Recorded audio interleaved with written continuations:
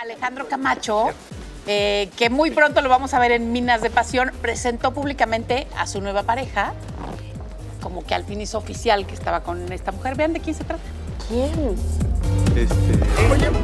Tras varios años soltero, el actor Alejandro Camacho se dio una nueva oportunidad en el amor y nos presentó a su nueva pareja durante la develación del espectáculo de su amigo Tomás Goros. Pues así la vi, le dije, oye, ¿cómo te llamas? Y al principio me hizo así, ¿no?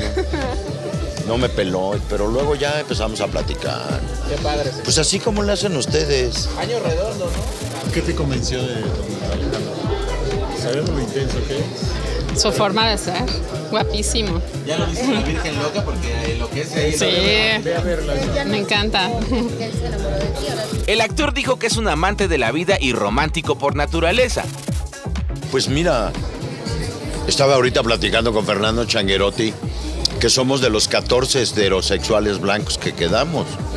Entonces, pues está perfecto porque podemos conocer mujeres como Nancy y podemos tener amigos y podemos divertirnos y pasarla bien sin hacerle daño a nadie, ¿no? Sin afectar a nadie, porque ahí sí bueno, yo que me la tengo que pasar defendiéndome muchas veces, pero mira, mis amigos no necesitan explicaciones y mis enemigos no me las van a creer.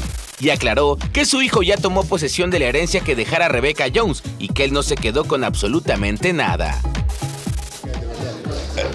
Se publican muchas verdades a medias y mentiras. Max ya heredó, está perfectamente bien y está procediendo a, a tomar toda la herencia. Bueno, ya la tomó. Para hoy, Ernesto Buitrón. Ah, arriba el amor. Están felices. El amor. Arriba el amor. Arriba el amor, porque luego también Alejandro venía de una relación que no terminó tan bien. El canito es un tipazo. sí. Antes de. Sí, que tenía con una actriz. y O sea, entonces, después de Rebeca. Después de Rebeca mucho tiempo. Ay, y luego no terminaron tan de Sí, buenas. de ojitos azules, ¿no? Sí, no terminaron tan de buenas y Ah. ahorita está encantado con esta chava que, Qué bueno. que lo ve así con... Qué bueno ver a, Dígame, profesor. Rebeca, ¿no? qué bueno ver a Alejandro Sí, tan feliz.